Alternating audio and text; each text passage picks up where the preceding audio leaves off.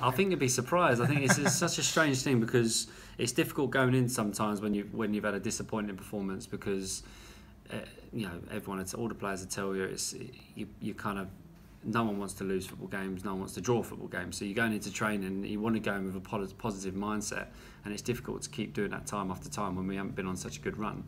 But it's the best place in the world when you're winning, and if we can just get those few wins, you, you'll just see that the place sort of erupts because at the moment it still is Yeah. a positive environment because as soon as you go the other way, there's only one way it's going to go. It's going to get worse. So we're Yeah. trying to sort of put the put those things in place to make it as positive as possible.